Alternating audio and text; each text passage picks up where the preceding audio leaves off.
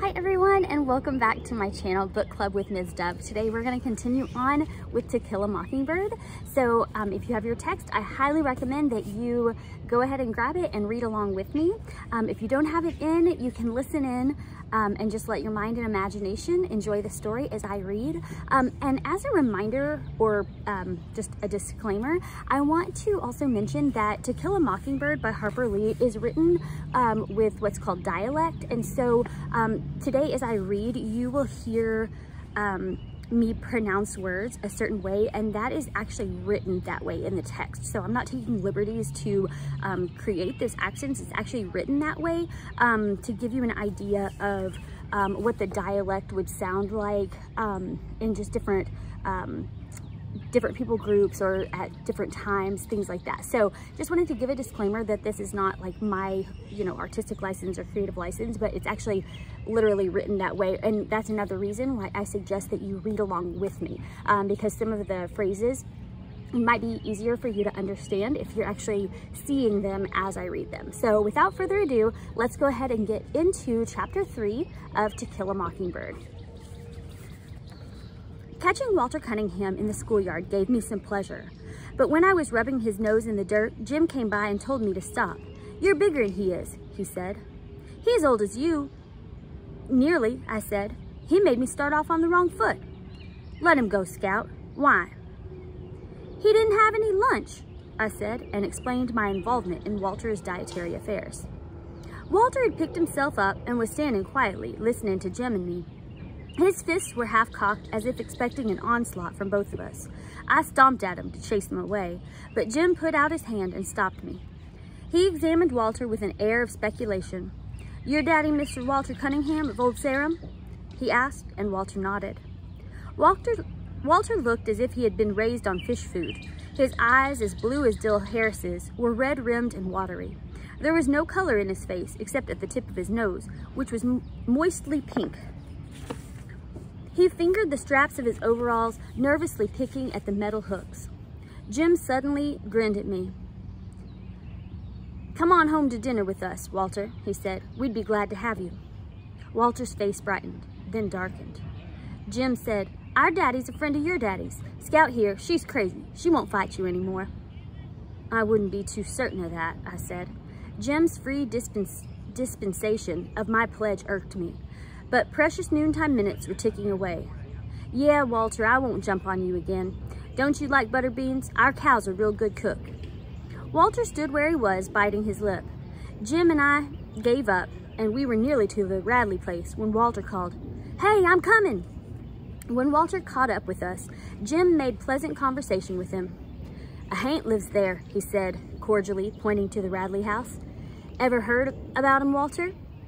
Reckon I have, said Walter. Almost died first year I come to school and ate them pecans. Folks say he poisoned 'em and put 'em over on the school side of the fence. Jem seemed to have little fear of Boo Radley now that Walter and I walked beside him. Indeed, Jem grew boastful. I went all the way up to the house once, he said to Walter.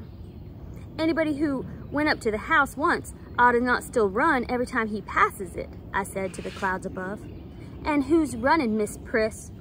You are when ain't no anybody with you. By the time we reached our front steps, Walter had forgotten he was a Cunningham. Jem ran to the kitchen and asked Calpurnia to set an extra plate. We had company. Atticus greeted Walter and began a discussion about crops neither Jem nor I could follow. Reason I can't pass the first grade, Mr. Finch, is I've had to stay out every, every spring and help Papa with the chopping. But there's another at the house now that's field size. Did you pay a bushel of potatoes for him? I asked, but Atticus shook his head at me. While Walter piled food on his plate, he and Atticus talked together like two men to the wonderment of Jem and me. Atticus was expounding upon farm, farm problems when Walter interrupted to ask if there was any molasses in the house. Atticus summoned Calpurnia, who returned bearing the syrup pitcher. She stood waiting for Walter to help himself. Walter poured syrup on his vegetables and meat with a generous hand. He would have probably poured it into his milk glass had I not asked what the Sam Hill he was doing. The silver saucer clattered when he replaced the pitcher, and he quickly put his hands in his lap. Then he ducked his head. Atticus, Atticus shook it at me again. But he's gone and drowned his dinner in syrup, I protested. He's poured it all over. It was then that Calpurnia requested my presence in the kitchen. She was furious, and when she was furious, Calpurnia's grammar became erratic. When in tranquility, her grammar was as good as anybody's in Maycomb's. Atticus said Calpurnium had Calpurnia had more education than most colored folks. When she squinted down at me, the tiny lines around her eyes deepened. There's some folks who don't eat like us, she whispered fiercely, but you ain't called on to contradict 'em at the table when they don't. That boy's your company, and if he wants to eat up the tablecloth, you let him, you hear? He ain't company, Cal, he's just a Cunningham. Hush your mouth. Don't matter who they are. Anybody sets foot in this house is yo company. And don't you let me catch you remarking on their ways like you was so high and mighty. Your folks might be better than the Cunninghams, but it don't count for nothing the way you're disgracing them. If you can't act fit to eat at the table, you can just sit here and eat in the kitchen. Calpurnia sent me through the swinging door to the dining room with a stinging smack. I retrieved my plate and finished dinner in the kitchen, thankful though that I was spared the humiliation of facing them again. I told Calpurnia to just wait. I'd fix her. One of these days when she wasn't looking, I'd go off and drown myself in Barker's Eddy, and then she'd be sorry. Besides, I added, she'd already gotten me in trouble once today. She had taught me to write, and it was all her fault. Hush you fussin', she said. Jem and Walter returned to school ahead of me, staying behind to advise Atticus and Calpurnia's iniquities was worth a solitary sprint past the Radley place. She likes Jem better than me, better than she likes me anyway, I concluded, and suggested that Atticus lose no time in packing her off. Have you ever considered that Jem doesn't worry her half as much? Atticus's voice was flinty. I've no intention of getting rid of her, now or ever.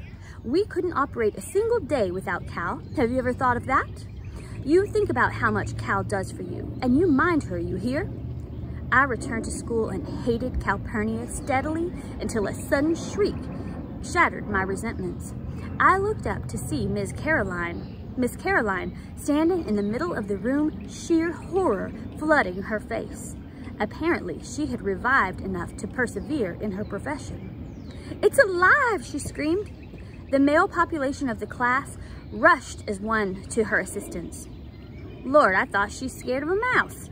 Little Chuck Little, whose patience with all living things was phenomenal, said, Which way did he go, Miss Caroline? Tell us where he went. Quick, DC, he turned to a boy behind him. DC, shut the door and we'll catch him.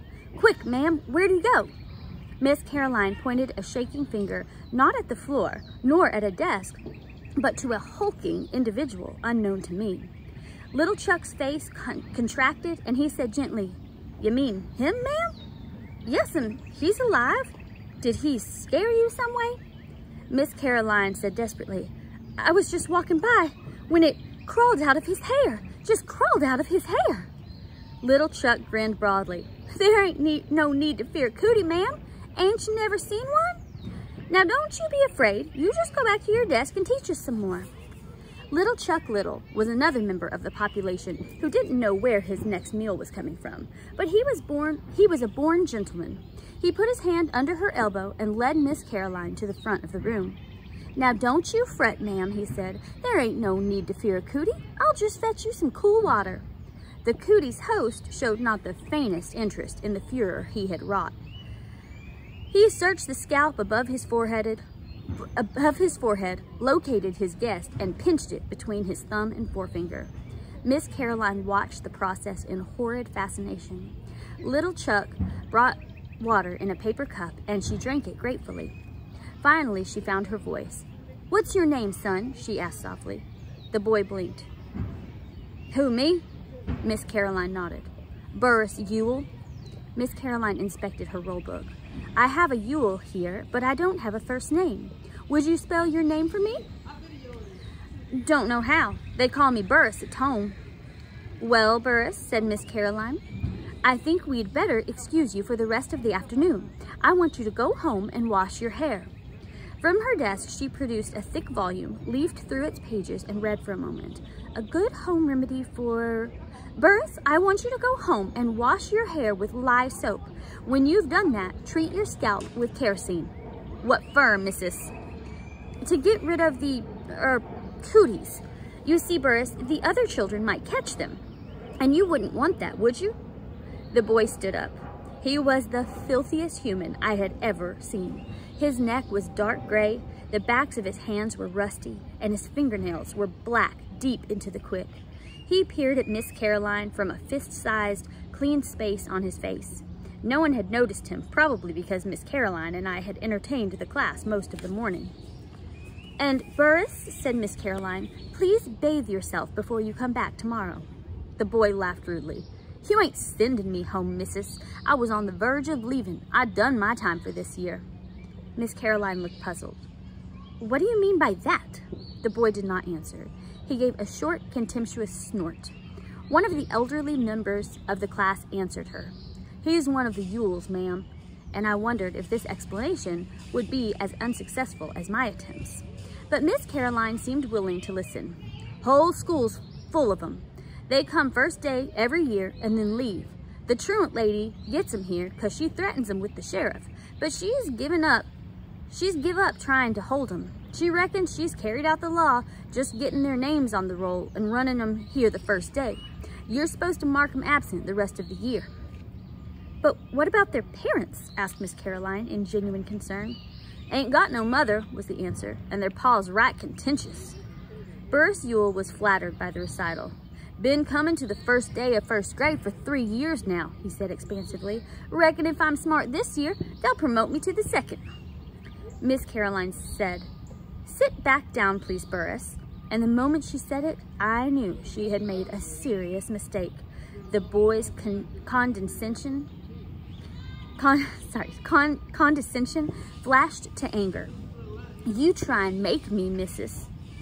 Little Chuck Little got to his feet. Let him go, ma'am, he said.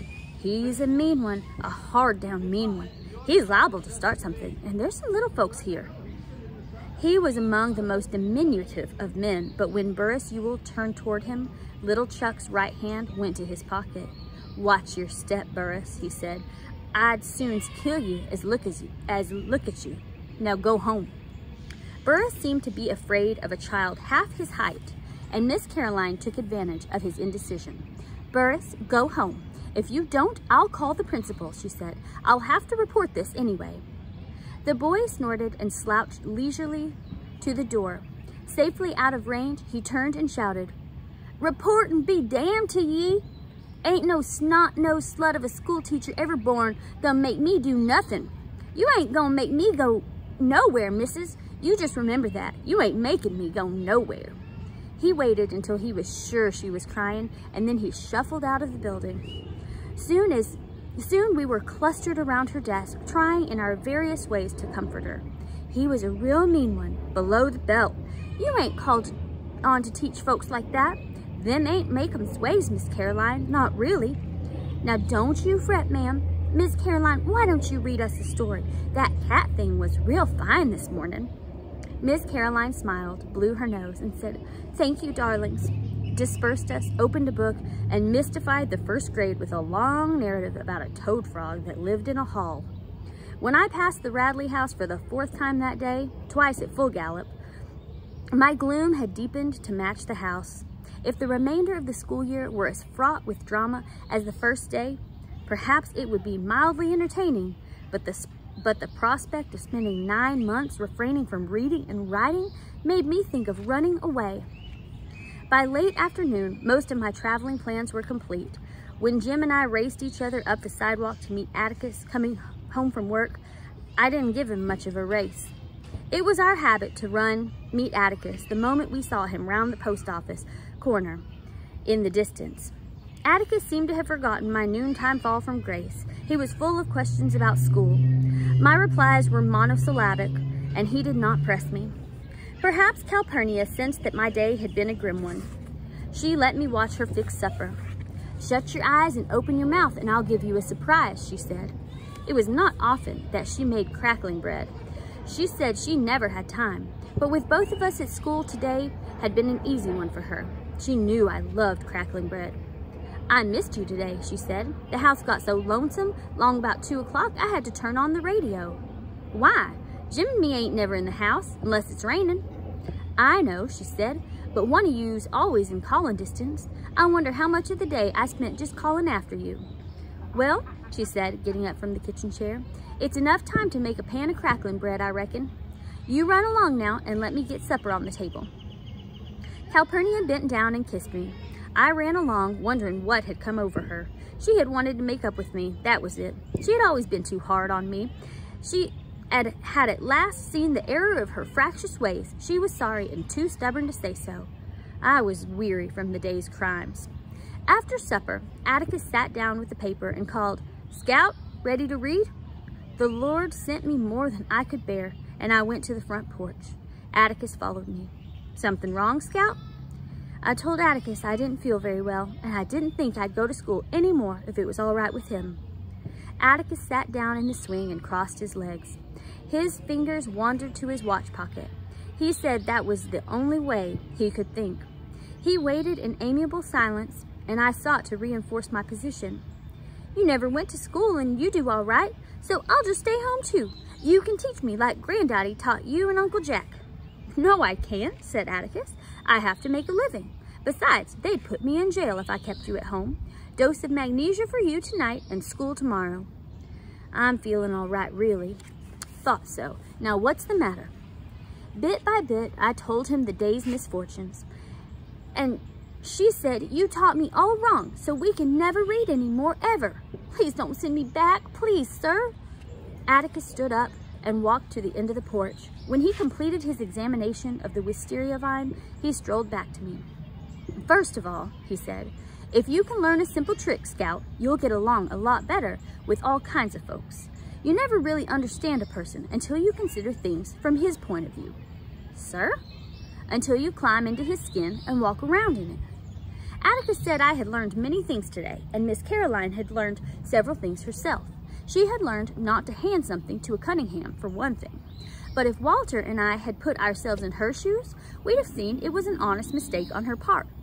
We cannot expect her to learn all of Maycomb's ways in one day, and we cannot hold her responsible when she knew no better.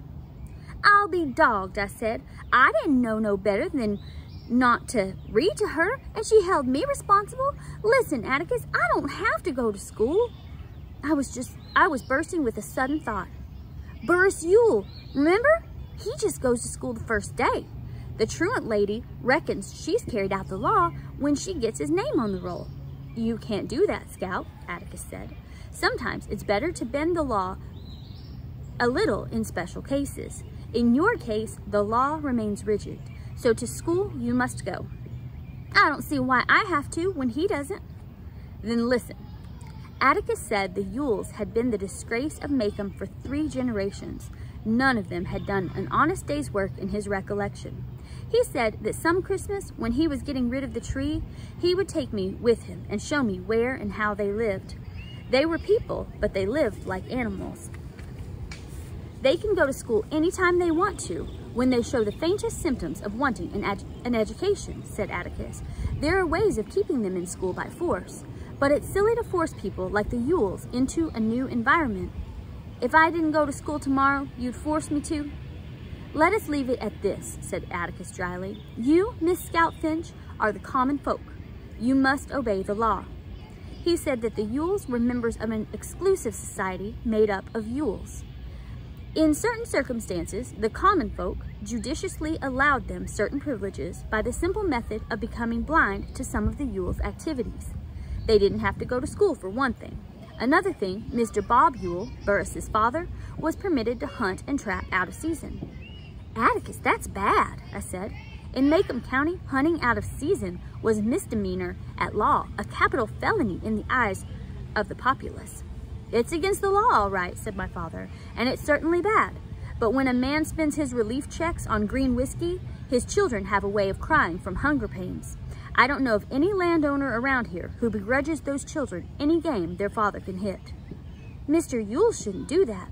Of course he shouldn't, but he'll never change his ways. Are you going to take out your disapproval on his children? No, sir, I murmured and made a final stand. But if I keep on going to school, we can't ever read anymore. That's really bothering you, isn't it? Yes, sir. When Atticus looked down at me, I saw the expression on his face that always made me expect something. Do you know what a compromise is? He asked. Bending the law?